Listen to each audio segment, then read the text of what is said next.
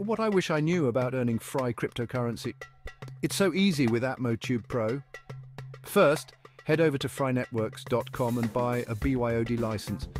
Got it? Great! Now let's onboard your AtmoTube Pro. Go to the Fry Air portal at air.fryfoundation.com. In the device ID field, enter your MAC address. You can find it in your AtmoTube app by clicking the device ID at the top. There's a down arrow. Click and voila, your MAC address. Next, in the token field, paste your API key.